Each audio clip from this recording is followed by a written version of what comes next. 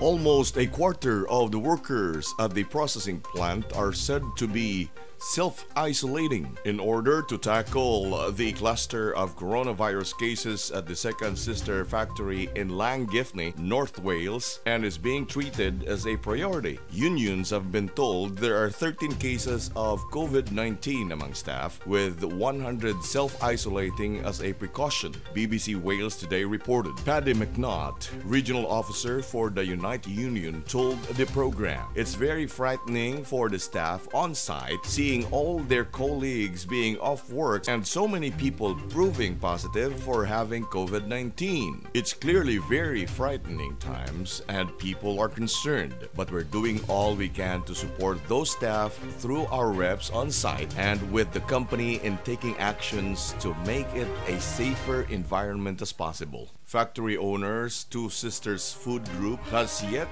to confirm the number of cases. According to its website, Two Sisters produce around a third of the poultry products eaten every day in the UK. A statement issued by Isle of Anglesey County Council said, The North Wales Regional Test Trace Protect team is responding to the cluster of coronavirus cases at the Two Sisters plant in Llangefni as a priority and supporting the workplace. Key agencies including Public Health Wales, Betsi Cadwaladr University Health Board, Health and Safety Executive, and both Anglesey and Gwynedd Councils are working together to support and advise the employer and those employees who have tested positive together with their contacts. A spokesman for Two Sisters said, As a responsible business, our key priority is to continue to provide the safest possible workplace and support all colleagues in Llangefni as we have been doing successfully for three months without one single positive case reported at the site. The health and safety of every colleague